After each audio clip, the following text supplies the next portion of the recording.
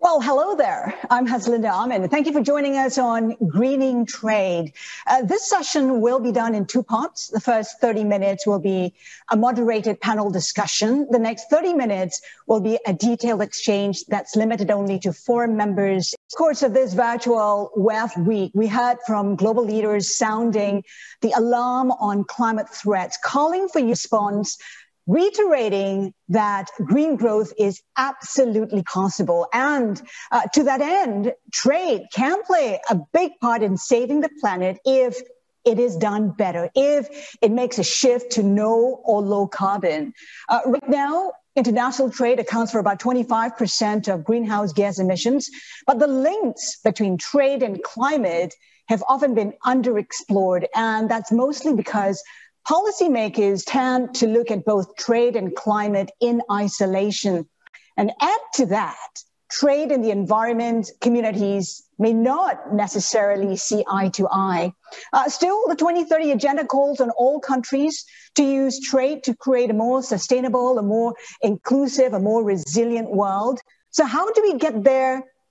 What trade approaches and actions are needed? What role can business play in the pursuit of net zero carbon emissions? Well, today we're really privileged to have with us Franck Riester, France's Minister Delegate for Foreign Trade and Economic Attractiveness, Jeroen Ouwehand, Global Senior Partner and Clifford Chance, Anna Krutikov, Head of Sustainable Development at Glencore International.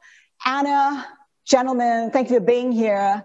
Minister, bonjour. And that's the extent of my French. Um, let's start with you. I mean, is there a conflict between trade and environment protection and climate action? Can, can they be complementary? Essentially, are they friends, foes, or are they frenemies? Hello, hello, everybody. Uh, you know, first, perhaps I, should say that uh, it's quite un- unrealistic to uh, consider that we should uh, uh, do uh, without trade. you know, um, natural resources are not shared equally, and I think that no country can be entirely um, autonomous and so um, trade has brought uh, uh, many things to uh, many people and, uh, uh, and, has brought many people out of poverty. And uh, international value chains um, lead to um, efficient specialization according to competitive edges. And so um, trade also um, allows a supply chains to deliver indispensable goods across the globe. Uh, and so we will therefore um, maintain uh, our economy in uh, open economy. Uh, and we want um, the EU uh, to remain um, open. And so for that, we need to have a consistency uh, between um, our sustainable um, development agenda and uh, our trade practices. We have to have a consistency between um, efforts we ask people and ask company and the kind of um, trade um, we are supporting. And so um, it's very important to consider that um, in a political standpoint, uh, this um, efforts of we ask to people are not diminished by the increase of imports from area that not apply the same ambitions or the same standards. And so we have the globally to, to create uh, more ambitious, more ambition and more standards so that we could um, globally um, increase uh, results of our policy instead of um, creating the condition uh, for a race to um, to the bottom, in fact. And so perhaps um, I would like to, to give you two examples of what we are going to do or we are doing. Uh, first is the carbon border adjustment mechanism. Uh, to fight uh, against the uh, carbon leakage in a WTO way. To, in, a, in a WTO way, uh, compatible way. Um, uh, it's a, for, for us very important to be compatible to the WTO. And the second um, example is how we deal with uh, deforestation imported. Um, it's, it's unbelievable that uh, we could imagine that um, increasing trade um, uh, increasing trade to be creating that that increasing trade could create more imported deforestation, and so that. Uh, we have to create um, instruments within the, the EU regulation to uh, legislation to uh, fight against um, deforestation imported. And that's the problem we have uh, in the uh, trade agreement with Mercosur. And so we are trying to find solution to be sure that the increase of our trade with Mercosur um, wouldn't uh, increase uh, the um, uh, imported deforestation. And um, we, we believe that um, uh, it's important to uh, to, to create this regulation, uh, to put pressure as well to the private sector uh, to be more uh, uh, fair in the in this kind of um, of topic as well. Putting pressure on the private sector, Minister. I want to bring Jeroen into this conversation. Then, Jeroen, how do you think? Trade policymakers can better align incentives with sustainable zero emission supply chains uh, how would this help companies enact ESG commitments? Thank you very much, uh, Haslinda, and, thank you very much, first of all, for having me on this panel. And also, good morning, everyone, or good day, everyone, on this last day of the Davos week. So, thank you for joining on this uh, last Friday. Um, I agree, Haslinda. You know, the move to net zero must be supported by trade policies. And you said in your introduction, you spoke about friends or foes. Uh, and there is this sort of myth that trade and climate are somehow uh, unnatural bedfellows, that they are mutually exclusive and that they do work in two different worlds, you know, the WTO world and the Paris Agreement world. And that doesn't have to be the case. Trade and climate can go hand in hand and should go hand in hand. And trade can be a driver of environmental and sustainable productivity and efficiency. And there isn't much that governments can do to help move the needle on this. So let me mention four points. First of all, there is the elimination of tariffs on, on environmentally beneficial goods and to remove barriers on environmentally friendly services. And that's a clear opportunity and can be done uh, in a way that is entirely consistent with the broader trade liberalizing objectives of the WTO. Um, now, many will be aware of the negotiations for an environmental goods agreement between 2014 and 2016. Uh, those regrettably came to, to an end, did not succeed. We can get into that later, but um, there are some moves to reinvigorate those discussions, and that's good. Uh, secondly, there is clearly more that can be done to remove non uh, tariff barriers uh, to trade in environmental goods. So technical, environmental, and other standards can be important uh, and can be part of any regulatory systems, but those policies should not unnecessarily increase the costs of adopting technologies which help businesses to reduce the carbon intensity of their production processes. And thirdly, and this is a big one, and we heard uh, President Biden speak about it two days ago, it is the uh, removal of fossil fuel subsidies. These obviously slow down efforts to decarbonize businesses and again, we can get into more detail uh, later if you'd like. Um, but it was very encouraging to see President Biden speak about that the day before yesterday uh, uh, and in his executive orders. And finally, and uh, Minister Riester already mentioned it a moment ago, uh, there is the big theme of carbon border adjustments. Uh, those impose additional taxes on carbon intense imports. And if introduced, they are likely to have a really significant impact on supply chains. Now, carbon border adjustments, and I heard the minister say it has to be done within the WTO framework. And that's a big debate again because they are scare, scary on the one hand.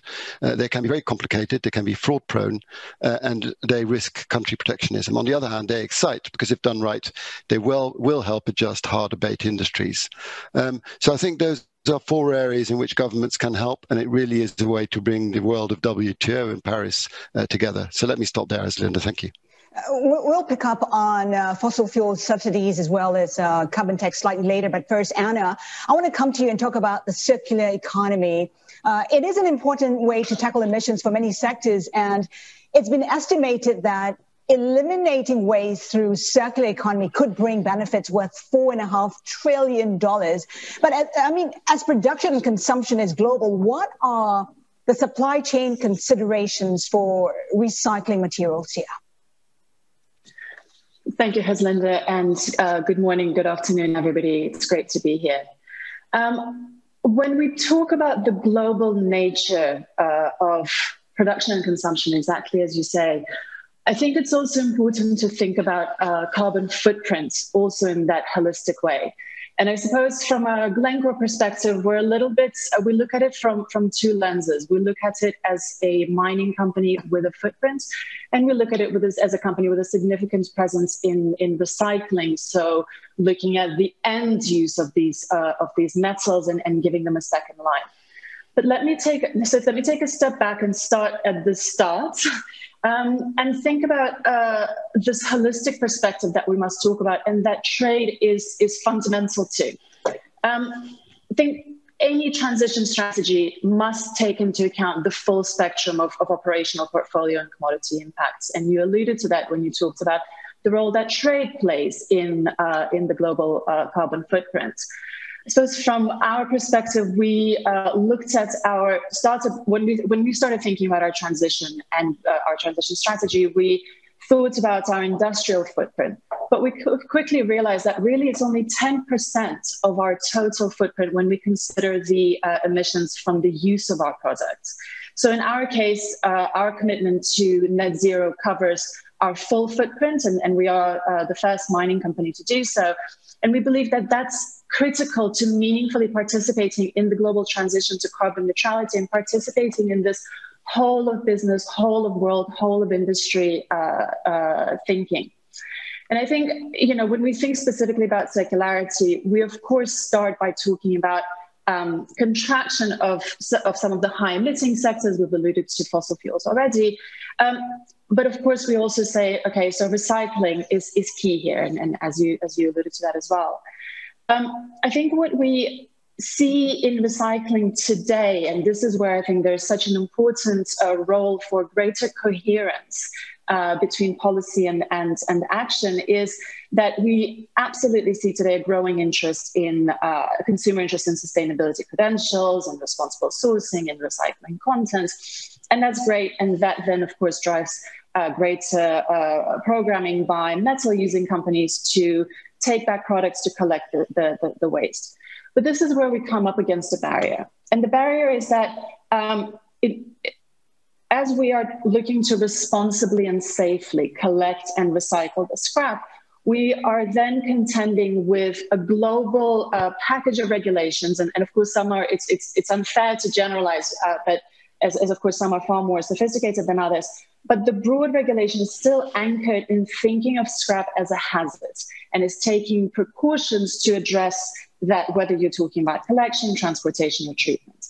And so, in practice, what we see is that for companies that are complying with, with this regulation, it's incredibly difficult uh, to, to, to, to recycle at, at scale. I'll give you an example. Some of our uh, the scrap that our customers have collected for us to recycle has been sitting in the country of origin for a year not because there's any problem with payment or any problem with the customer or any any problem but because the regulation is so complex that dealing through the intricacies of the storage the shipping the transportation is is incredibly complex and is very much framed within that context and I think one of the downsides of that, besides, of course, uh, limiting the ability of the sector, the, the, formal sector to grow, is the proliferation of the informal sector.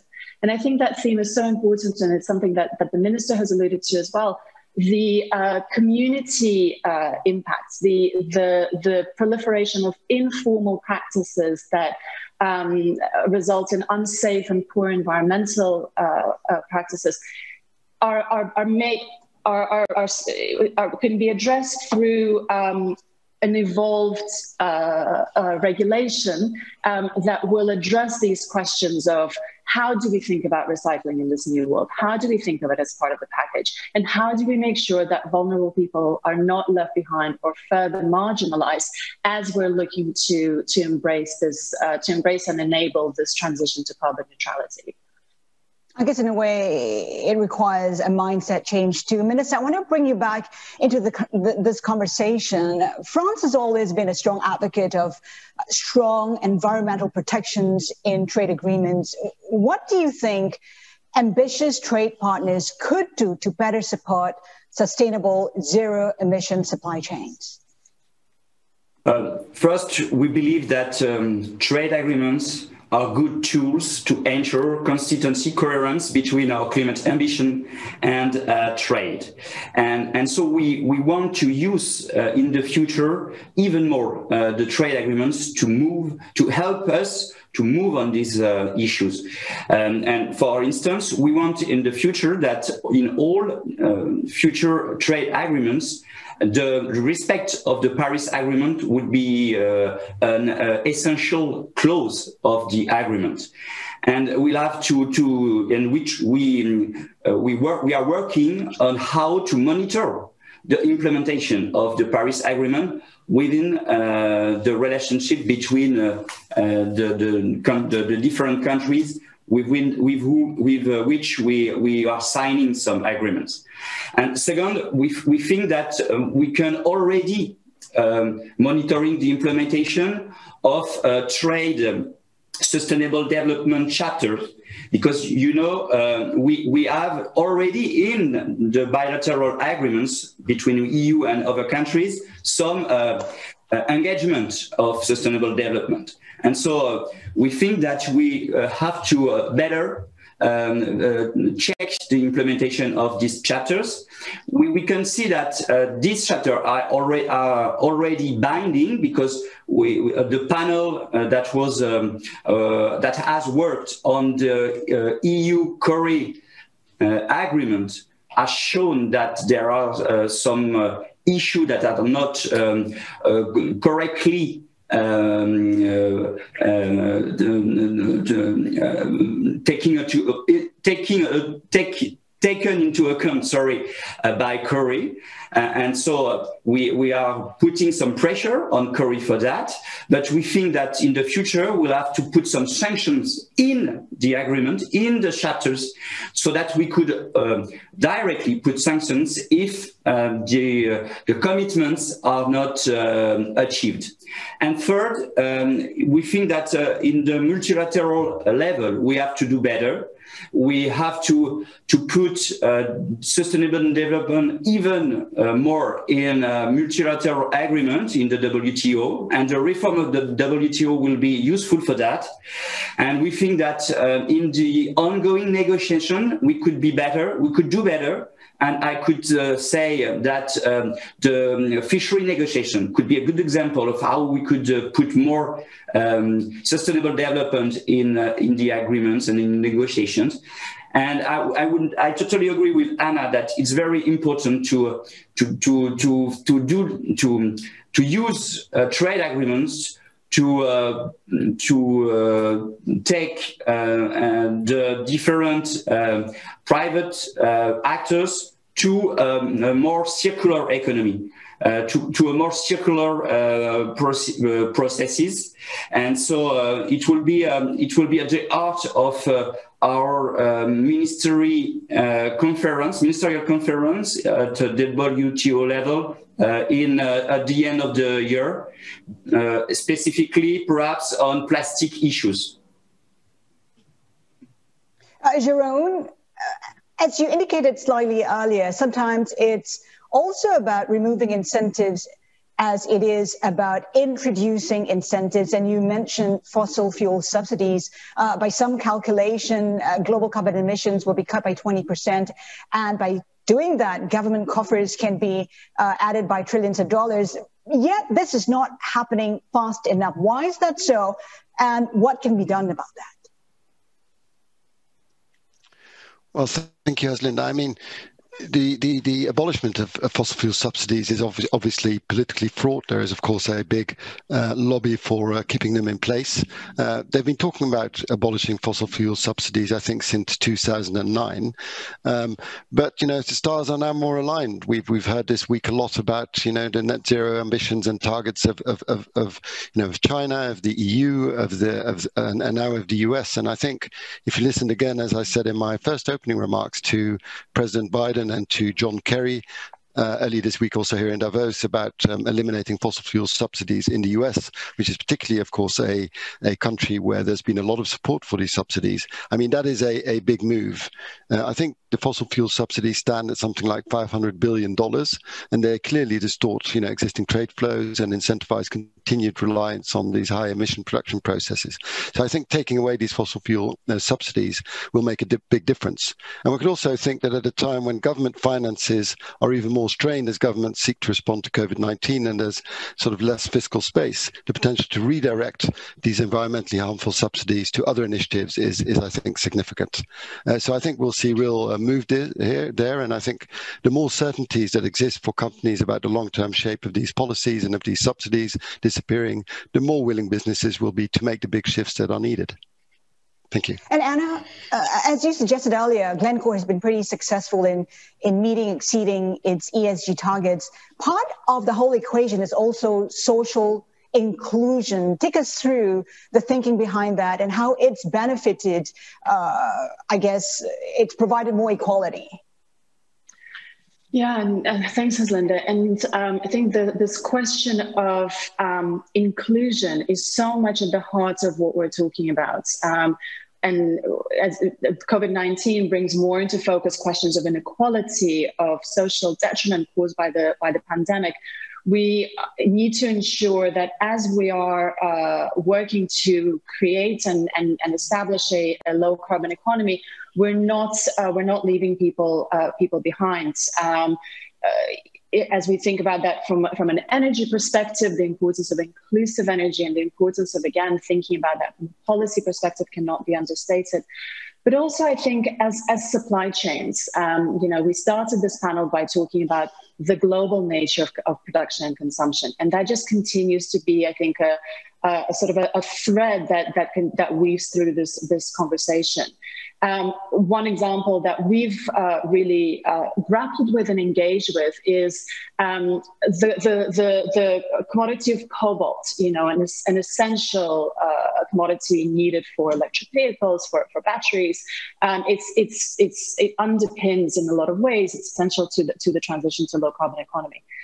However, um, we've seen how uh, legitimate, absolutely legitimate concerns about terrible operating practices and child labor that's associated with the artisanal mining of that cobalt in, uh, in, in, in, parts of the Democratic Republic of Congo has risked marginalizing further already vulnerable people as their, their concerns uh, concerns would start driving uh, sort of purchasing behaviors for, for, for the commodity. Um, so we've been working with the whole, uh, with, with the cobalt supply chain, with our partners in, in that chain that with, uh, with who we work uh, commercially, um, as well as, as, as, on the ground. We've looked to address this challenge by uh, becoming a founding member of the Fair Cobalt Alliance, which is a whole of supply chain partnership that recognizes that uh, that artisanally mined cobalt, that cobalt produced uh, uh, by uh, people you know, very, very poor, very vulnerable people can absolutely play a legitimate role in the supply chain, but that we must take action to eradicate child labor and, and improve operating conditions uh, in, the, in, the, in those cooperatives. And I think it's that the, the reason I give that example is because I think we must, as supply chains, and, uh, and, and obviously we're looking uh, at support from, from policy as well, to be mindful of how, uh, as we're as we're looking to towards not only uh, a, low carbon economy, but a successful low carbon economy, that we don't inadvertently widen uh, the gap, uh, the gap of inequality. Minister, uh, earlier you talked about the border carbon tax as planned by the EU. How far do you think that will prevent carbon leakage? Do you see the move even encouraging non-EU companies exporting to Europe to cut emission and in turn cut what's charged to them? Or could the move lead to protectionist response by other trading blocs instead? Um, it's uh, for, for us. We believe that um, uh, this kind of mechanism uh, will um, uh, force uh, other countries to uh, be more uh, ambitious uh, in uh, in that field, and that uh, the, the, the the the costs. Um, uh, cost more important to to um, to produce with within a green way um, will be um, will be um, compensated by the by the mechanism. So that uh, we could uh, put pressure on uh, countries that do not apply uh, this kind of um, uh, of good uh, way of producing. And and so the difficulty is that we don't want that it could be a, a kind of um, competitiveness tool but a, a, a tool to um, to put every, everyone uh, in in a good uh, in a good way to produce, and that's that's the difficulty we have um, uh, in front of us. So that the, this mechanism could be accepted uh, by uh, by everyone. In fact, even by uh, the US, even by China, and even by all the uh, the country that are engaged in uh, in the climate uh, fight, uh, and uh, we have to convince uh, our partners of the of the pertinence of the of this mechanism. Jeroen, do you agree? Do you think it will encourage the others to follow suit? Um, I think, Haslinda, uh, that would be the hope, and I do agree with the minister. It's a matter of communication, communication, and communication to getting to understanding why it is needed. Because without the the, the, the carbon border adjustments, there is the risk of leakage. Uh, you know, both in getting uh, uh, imports from from countries where there are less environmental standards, and the other way, businesses moving out of, for example, region to the EU to countries where that is the case. And as I said in my introduction, you know, it's both on the one hand these adjustments are on the one hand scary. Uh, they can be very very complex, lead to uh, a lot of bureaucracy, um, and uh, and also lead to protectionism, which is why there's this concern, and that is why there's a direct conflict with, you know, the the, the liberalized trade idea behind the WTO thinking. Um, but at the same time, uh, they can have very positive benefits as well and level the playing field. So I do agree, agree with the minister, but it will be uh, one that is potentially fraught with uh, conflict. And as we know, currently the WTO is not very operational, certainly not the appellate body. Uh, so how do you resolve disputes now? I'm a litigation lawyer, so you know it means a lot of business for people like me, but I don't think it is what will uh, what will further the cause of sustainability. So I think that whole bringing together of the WTO and Paris thinking, as I said in my introduction, uh, and you mentioned friend or foe, and are they strange bedfellows? I think there's a lot of work and thinking that continues to need to go into that. And I heard the minister say, you know, we want to make these cross-border adjustments WTO compliant.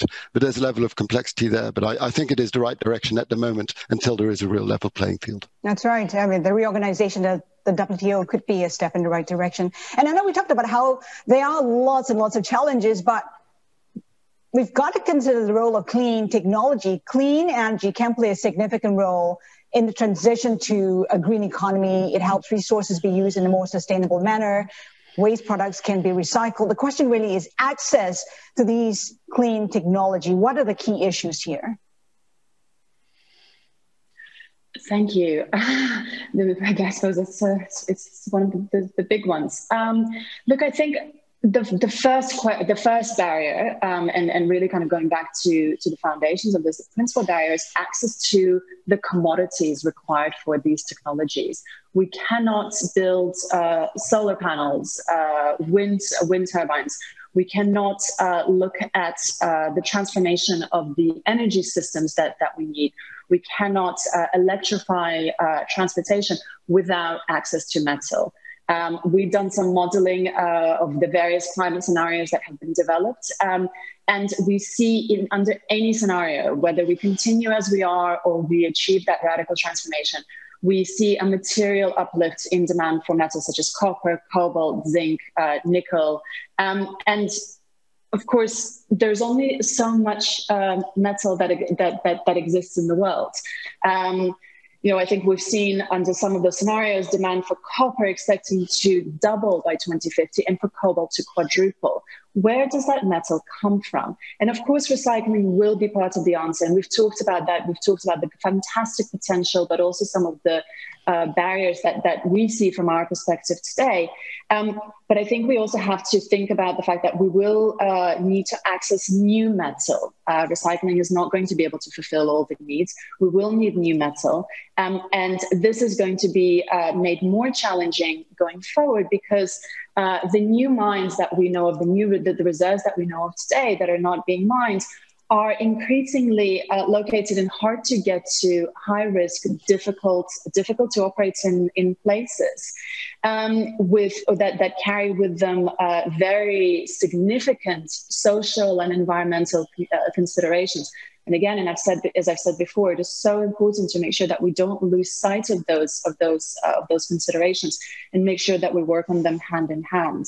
And so I think um, it's it's an important uh, it's it's a barrier, it's a consideration, and I think there's uh, some thought to be put to how uh, policymakers in some of these um, mineral-rich countries and how their partners in in uh, sophisticated jurisdictions such as the European Union, for example, don't lose sight of how to continue to enable access to that new metal while also not compromising on uh, on the importance of responsible operating practices. How do we move those hand in hand? Uh, there is a question here from uh, a participant, and uh, Minister, maybe I'll pose this to you. Do you agree that in the new normal, we must reject trade at all costs and push instead for trade to be built on credible inclusivity, sustainability, integrity, and transparency? And I guess, you know, amid the pandemic, uh, there's always an urge to put yourself first.